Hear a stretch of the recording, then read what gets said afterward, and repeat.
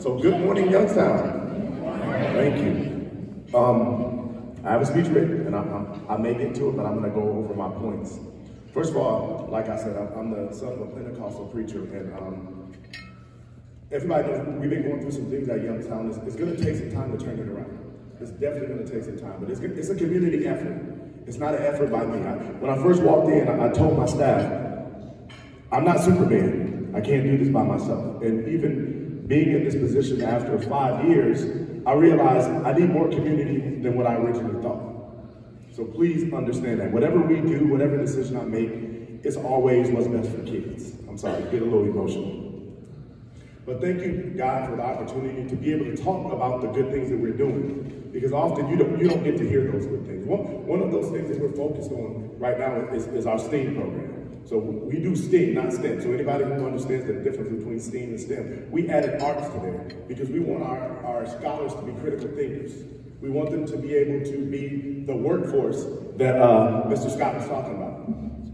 You have to you have to realize that what we're doing right now is going to be an impetus to the future of everybody in here. If we don't create a workforce in Youngstown and retain our students, we, we're doomed to fail.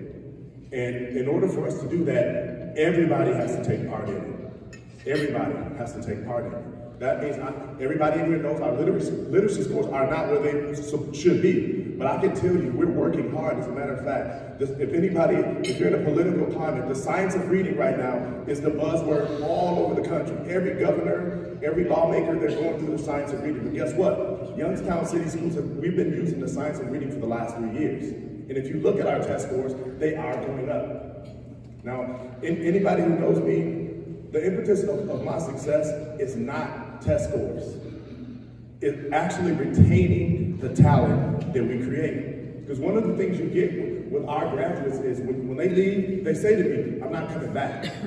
And that's not a good thing for us. It's not a positive thing for us. But we're working to make sure that we do that. Along, along with, with the science of reading, our healthcare system in, in, our, in our city has, has gotten a lot better. We have youth care clinics in each one of our uh, schools. That's something that we didn't have before. So when we started, um, COVID, when COVID started, we started doing those things. We, we found out at the time, when I got here, there was no pediatricians in the city of Youngstown. So part of our attendance issues were, we had students who did not have vaccinations, and by law, they were not coming to school, which is an issue, because we need them. Butts in the seat equals dollars and equals success for us. And we have to realize that. Not only with those youth care clinics, we, we also, if, if you see, there's a little pink van, a pink RV that's going around right now. That's our dental RV. We created a dental RV because a lot of our students, they were not going to the dentist until they were in their teens. So can you imagine that? So we, we've done that. Our next step is an ophthalmology and audiology van. Because guess what? We have a lot of students who sit in our classroom who don't see well and they don't hear well.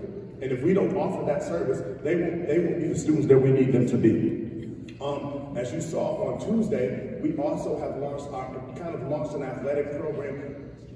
We launched our athletic program. So we have the football field. Anybody who ran state, we have the football field. Sorry about the Y, the Rayen, the, the Rayen, the Rayen graduate. I'm sorry, but your name's not at the top. But hey, I, I'm academic, so we did it in alphabetical order.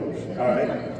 Also on Tuesday, we launched our baseball field for East and Chaney. We also have a practice football field going up at East, and we also have a new track going up at Chaney. So we are trying to do those things. We are trying to do those things to improve. It's, it's